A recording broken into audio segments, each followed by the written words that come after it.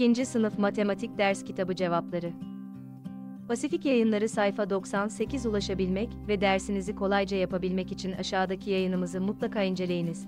2. Sınıf Matematik Ders Kitabı sayfa 98 cevapları. Pasifik Yayınları 4 fincan suyla ilk şişeyi, 4 fincan suyla da ikinci şişeyi doldurursak elimizde ilk şişe suyumuz olur. Tenceremiz zaten iki şişe su ile doluyordu. İşlemimiz doğrudur. Aşağıdaki problemleri çözüm basamaklarına dikkat ederek çözelim. Sonuçlarını altlarındaki kutuya yazalım. Bir sürahi limonatadan 5 su bardağı limonata servisi yapabilmektedir.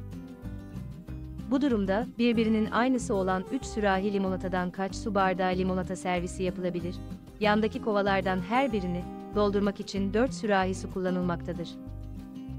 Kovaların birinden bir, diğerinden iki sürahi su alınırsa iki kovada toplam kaç sürahi su kalır? Sinem Hanım, çiçekleri sulamak için cumartesi günü 4 kova, pazar günü 2 kova su kullanmıştır. Bir kova 2 tencere su aldığına göre çiçekler kaç tencere su ile sulanmıştır? Cevap 2. Sınıf Pasifik Yayınları Matematik Ders Kitabı sayfa 98 cevabı ile ilgili aşağıda bulunan emojileri kullanarak duygularınızı belirtebilir, aynı zamanda sosyal medyada paylaşarak bizlere katkıda bulunabilirsiniz.